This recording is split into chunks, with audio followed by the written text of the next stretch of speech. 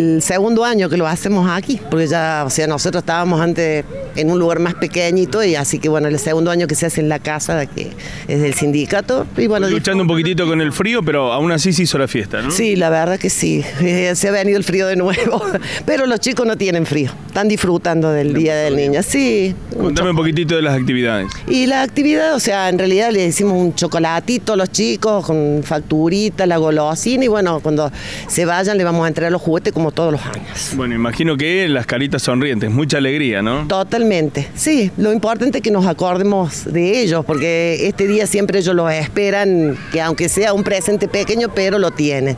María, agradecer que el centro puede seguir eh, brindando este tipo de servicios, ¿no? El sindicato. Efectivamente, gracias a Dios y el secretario general, que, o sea, uno es el que hace todo el trámite para que nos, nos ayuden a poder hacer el festejo, no, pero siempre, o sea, nos han dicho que sí, así que este año nuevamente hicimos, estamos felices.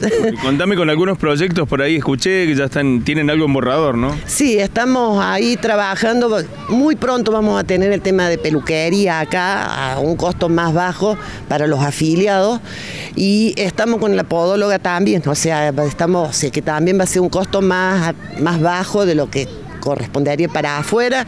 Seguimos con los consultorios médicos de lunes a viernes, o sea, que tienen que sacar turno por teléfono personalmente por acá, pero gracias a Dios seguimos funcionando bien dentro. Y creciendo con los servicios. Sí, totalmente, totalmente, porque en la realidad, o sea, hemos cubierto gran parte del padrón de nosotros de afiliados, que es un padrón hoy de 250 afiliados, son muchos y bueno, lo estamos cubriendo. Eh, o sea, con el tema, eh, hemos hecho un trámite acá en la falda con la farmacia de la plaza, que estamos a que nos contesten para que tengamos otra cobertura de otra farmacia dentro de, la de, lo que es el, radio, digamos, para que les quede más cómodo a la gente.